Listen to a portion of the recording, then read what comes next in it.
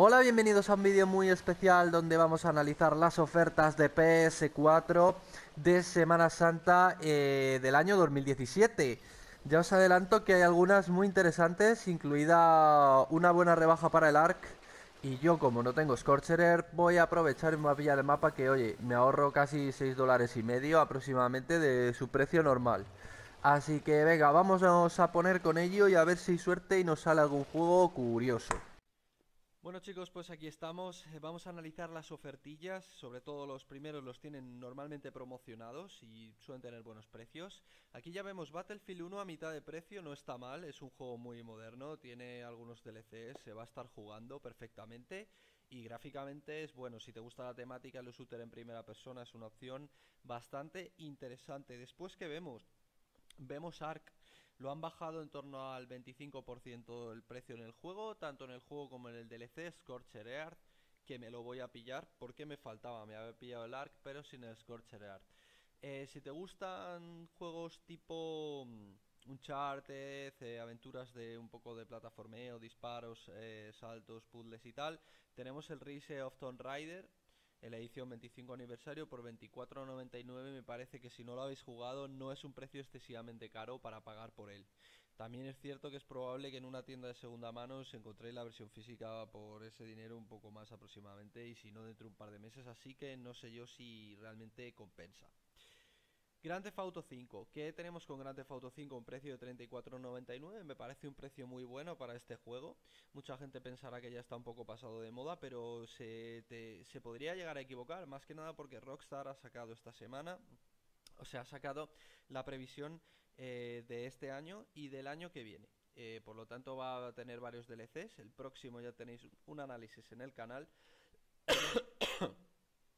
Disculpar. El próximo tenéis un análisis ya en el canal, que va a ser el DLC de militares, y en el canal lo vais a ver perfectamente dónde se va a desarrollar y más o menos lo que sabemos ya de este. Bueno, ¿qué más tenemos? For Honor estará caro, sí. Eh, el Skyrim yo no me lo pillaría para Play 4. Si podéis tener la opción de pillarlo para Steam y poder disfrutar de todo el workshop, o sea, de todo el contenido que crea la comunidad para este juego de manera completamente gratuita. De igualmente, son bastante horas de juego, eso ya entra a vuestro eh, idea. Watch Dogs 2, 1000 DLCs, también vendrá más adelante, el juego en 40.000 versiones. Yo mm, eh, estoy a favor del boicot a Ubisoft porque no me parece muy correcto el trato que ha dado a sus clientes. Yo me he sentido estafado por Ubisoft en varias ocasiones, quitando con el Far Cry 4, que me parece un buen producto, un producto muy completo, de mucha calidad con un buen doblaje al español, rejugable y con un mundo libre. Nada que ver con el Far Cry Primal, que copian el mapa y es básicamente lo mismo, pero a lo cutre sin armas. Por lo tanto, no, no pilles el Primal, que seguramente venga aquí en ofertas, porque Ubisoft estas mierdas siempre está el primero. Sino pillaros en todo caso el Far Cry 4. Y, y, en cuanto al Watch Dogs 2, es un juego totalmente bugueado y craseado, que pese a que lo actualicen y lo intenten arreglar, no funciona. Ya sabéis, con Ubisoft nunca se compra un juego en el día 1, sino cuando estén a 10 o 12 euros y sí están. The Witcher, eh, buen juego, horas de juego, expansiones posibles si te gusta el contenido, 24,99 euros, me parece un gran juego a un gran precio. Lo comentábamos del ARC, más o menos el 25% y el Scorcher nos vamos a ahorrar 5 eurillos, lo que viene siendo 6 dólares, 7 dólares casi por el juego. Así que yo creo que realmente es un buen momento para adquirirlo. Eh, eh, por aquí un poco de deportes, aquí podéis verlo si, sin más, no lo vamos a comentar.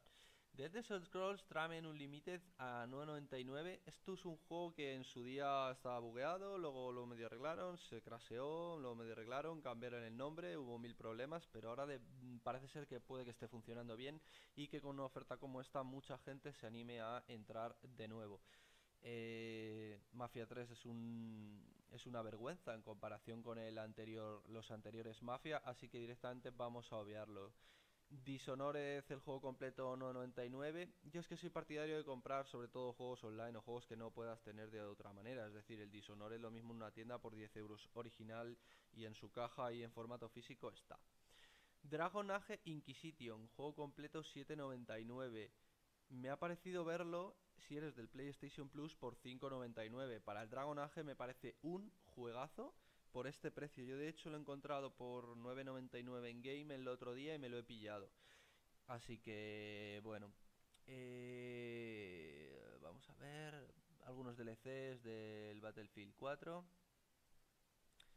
Y aquí, pues bueno, eh, DLCs de Battlefield 4, Battlefield Hardline, eh, DLCs del Call of Duty, del Battlefront. Esto es un poquillo morralla. Project Cars, el UFC, me parece un buen juego. El UFC, si te gustan los combates y tal, es un juego muy técnico, muy táctico y muy interesante. Eh, bueno, pues por aquí, pues lo que comentábamos, Far Cry Primal, como no, no pone el 4, pone el Primal.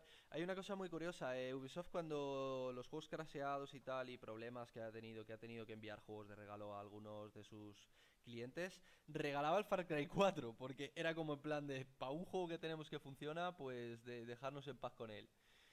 ¿Qué más tenemos? ¿Veis lo que os digo? DLCs de Watch Dogs 2. O sea, y esto seguro que desde el primer día ya te los podías comprar. Es decir, yo te pago 70 euros por un juego que no está acabado, que tiene un downgrade gráfico, que tú a mí me has vendido en una conferencia que yo he seguido, te he seguido y he comentado a mis amigos, o sea, te he generado publicidad, vale, gratis. Eh, unos gráficos de la hostia, llego a, a mi casa, lo compro, lo pongo.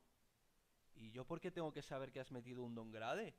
Eh, eso es publicidad engañosa o publicidad encubierta o tongo directo. Porque yo, a mí, con Ubisoft tengo muchos problemas, ¿eh? Porque a mí me regalaron el Watch Dogs 1. La verdad es que me lo regalaron con ilusión, una sorpresa. Si me hubieran preguntado si lo quería, hubiera dicho que no, evidentemente, por esta compañía. Y me lo regalaron y estaba para Play 4, estaba totalmente craseado, se bugueaba, misiones que no se podían continuar, la conducción era nefasta, que eso nunca se arregló. Eh, un juego, para mi gusto, penoso. Era un GTA V en, el momento de la compra. Luego yo no sé porque nunca más lo volví a jugar, ¿eh? Era un GTA V en el cual encima estabas puteado porque tenías que hacer las cosas en vez de como un hombre dando la cara con un puto móvil. Muy, muy, muy triste lo de Ubisoft con aquel juego. Cómo nos lo vendieron y lo que luego fue. Pues eh, por aquí, pues mira, igual, Ubisoft con los Assassin's Creed, uno al año que no hace daño. Eh, de todos los Assassin's Creed, hay dos opciones que yo sí que os podría recomendar. Eh, una para reíros, que es el Assassin's Creed Bugity. Está totalmente bugueado ese juego, hay que jugarlo sin actualizarlo porque es que os, vais a partir el culo. Te puedes montar encima de gente, se crasea el juego, desapareces hacia el centro de la tierra, vuelas, se te desaparecen las botas, te crasea otra vez, te caes dentro de un edificio, se buguea todos los personajes, todos los enemigos salen corriendo de manera aleatoria hacia una única dirección. Es decir, impresionante, muchas risas. Y luego, el que sí que os recomiendo de manera real es el Assassin's Creed Black Flag. ¿Y por qué os voy a recomendar el Assassin's Creed Black Flag? Pues por una razón eh, muy sencilla. Es un juego muy bien hecho, bastante bien terminado y es probablemente de los Assassin's Creed más diferentes que haya. Yo lo veo como un simulador de piratería, como el GTA V de los piratas, ¿vale? Más o menos es eso. Además yo soy fan de una serie que se llama Black Sails, esta semana sale el último capítulo de la última temporada, es decir, se acaba la serie. Y si os lo pilláis, yo recomendaría veros la serie a la vez porque vais a jugar con los mismos protagonistas de la serie en el juego. Yo lo hice al principio, tío, cuando me lo pillé y fue la hostia, porque es que ya, tío, me pensaba que era un pirata la vida real. Te lo juro que esta me soñaba. Eh, mogollón de historias para Daylight. Y, y es lo que os digo, tío. O sea, el GTA V. Vale, te vale 70 pavos, que me parece muy caro, pero 70 pavos el día 1. ¿Qué pasa tres años después? Que sigue el juego actualizado, que sigue el juego con jugadores, que sigue el juego cojonudo. Tíos, eh, eh, en Rockstar se puede confiar y se puede comprar desde el día 1. Yo el próximo GTA me lo voy a comprar desde el día 1. ¿Por qué? Porque con este me han dado un buen producto y todos los DLCs son gratis, tío. Son free, no me jodas, tío. Y tú aquí ves del Dying Light, que no te digo que no sea un, mal producto, no te digo que sea un mal juego, que no esté bien.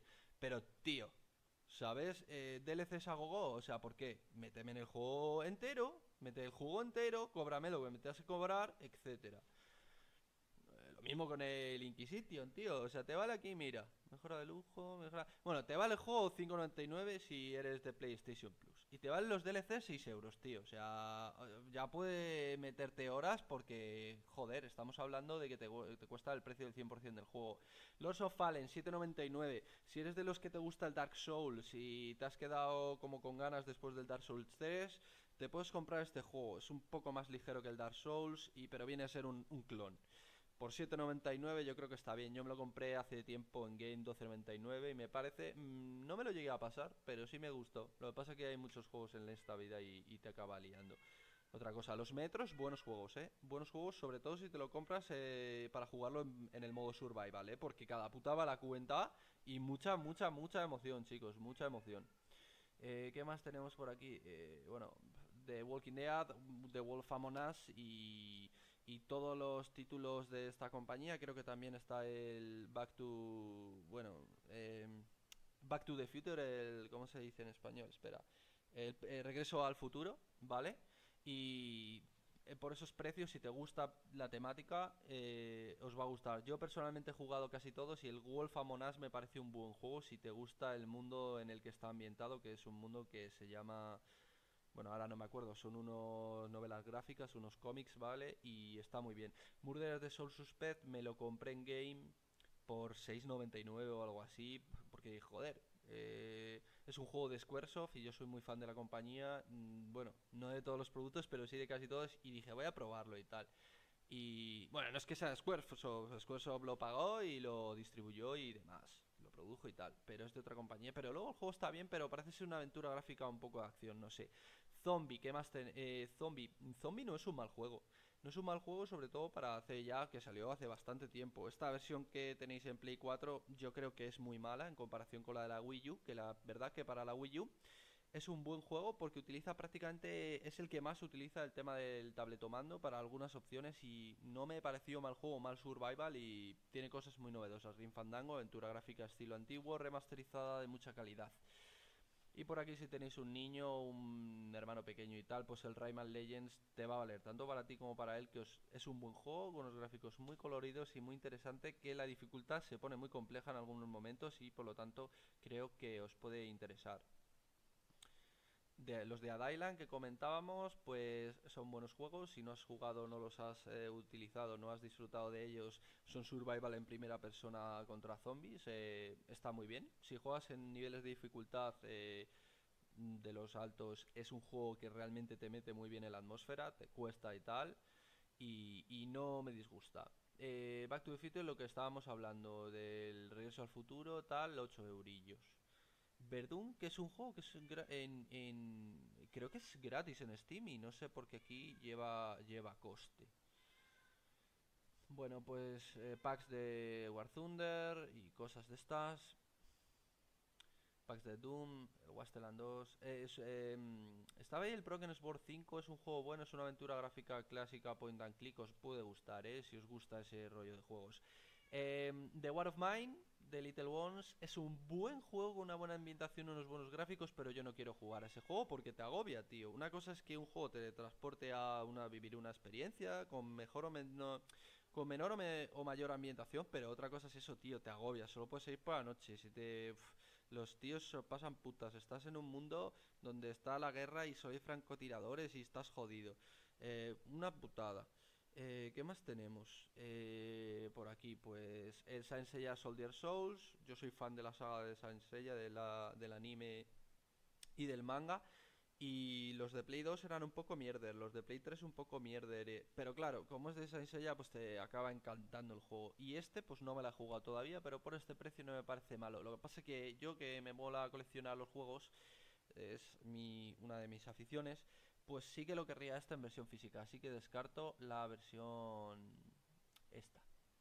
Bueno, mierda para Sebastián Loeb, Just Dance, pues no está mal si te gusta y, esa cosa. Y Primal Carnage teniendo el arc para qué, para qué digo yo. Eh, cole- eh, colección Amnesia, si os apetece pasar miedo, eh, al ser la colección completa, 15.99 no es un mal precio, no es un mal tal. Creo que este no lo hay en formato físico, así que o así, lo, o lo pillas así o nada.